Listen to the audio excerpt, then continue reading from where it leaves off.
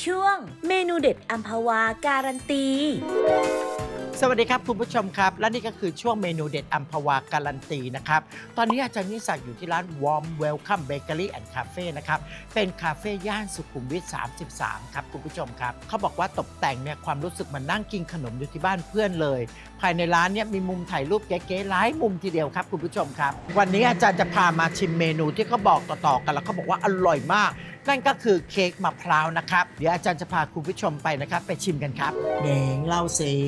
ทำไมเค้กของเธอถึงได้โด่งดังขายดิบขายดีไปทั้งซอยสุขุมวิท ก็ใช้น้ำมะพร้าวสดค่ะ อืม แล้วก็ใช้น้ำกะทิของอัมพวา เลยทำให้เค้กมะพร้าวเนี่ยขาวข้นหอมมัน เหมือนไข่กะทิคั้นสดเลยอื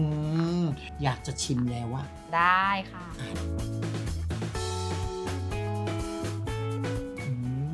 เค้กหอมมะพร้าวมากตอนเนื้อเค้กก็มีความนุ่มนุ่มเกี่ยวกับกลิ่นมะพร้าวเนี่ย รสชาติดีมันนิดนิดๆเรียกว่าอร่อยเลยอะหนิงแล้วถามหน่อยสิค่ะรสชาติมันดีดีๆแบบเนี้ยเดี๋ยวสอน จะเล่าให้ฉันฟังหน่อยสิว่าวิธีอ๋อทำทำยังไงไหนเล่าสิเคี่ยวไส้ก่อนนะคะ เพราะว่าใช้เวลานานสุด อืมใช้น้ำมะพร้าว น้ำกะทิ ทางร้านใช้กะทิของอัมพวาค่ะ เลยทำให้เค้กขาวข้นหอมมันเหมือนใช้กะทิคั้นสดค่ะ ใช้สะดวกไม่ต้องเสียเวลาคั้นเองค่ะ อื้อหือ คุณผู้ชม ทั้งหอมทั้งเข้มข้นเพราะใช้อัมพวากะทิร้อยเปอร์เซ็นต์นี่เอง เพราะผลิตและบรรจุด้วยเทคโนโลยีที่ทันสมัยนะครับ ทั้งแบบกล่องแล้วก็แบบขวดเนี่ยคุณภาพดีเหมือนกันเลยนะครับหลังจากนั้นก็ในนั้นก็มีน้ำตาลแล้วก็เคี่ยวไปสักระยะเวลาหนึ่งค่ะค่ะ หลังจากไส้เคี่ยวเสร็จแล้วเย็นแล้วแล้วก็เราก็ทำตัวเค้กอ่าแล้วก็ assemble มันค่ะ เอาตัวไส้เนี่ยอยู่ตรงกลาง แล้วก็คลุมด้วยวิปครีมค่ะอืมแค่นี้ก็เสร็จเรียบร้อย ใช่ค่ะอืม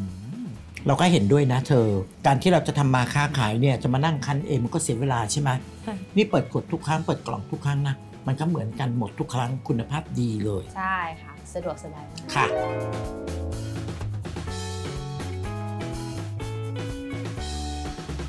ลองสิครับอัมพวากะทิร้อยเปอร์เซ็นต์คั้นทันทีตั้งแต่กระเทาะเปลือกนะครับ ไม่ว่าจะทำเป็นเมนูคาวหวาน ก็กลายเป็นเมนูเด็ดประจำร้านได้นะครับ ขาวข้นหอมมันเหมือนกะทิคั้นสดครับ วันนี้ต้องขอขอบคุณคุณหนิงนะคะ ที่มาบอกเคล็ดลับความอร่อยกับเรา รับไปเลยนะคะ ป้ายการันตีร้านเด็ดอัมพวาการันตีค่ะ ยังไม่หมด เรายังมีกิฟต์เซตจากอัมพวากะทิร้อยเปอร์เซ็นต์มอบให้ด้วยนะคะค่ะ และสำหรับคุณผู้ชมนะครับที่อยากได้สูตรเค้กมะพร้าวอร่อยๆ แบบนี้สามารถเข้าไปดูได้นะครับ ที่ www.jingsakfood.com ตามลิงก์ที่ปรากฏอยู่หน้าจอเลยนะครับ และสัปดาห์หน้านะครับ เราจะไปพิสูจน์ความอร่อยกันได้ที่ไหนคุณผู้ชมต้องติดตามนะครับ อย่าลืมนะครับอัมพวากะทิร้อยเปอร์เซ็นต์ขาวข้นหอมมันเหมือนกะทิคั้นสด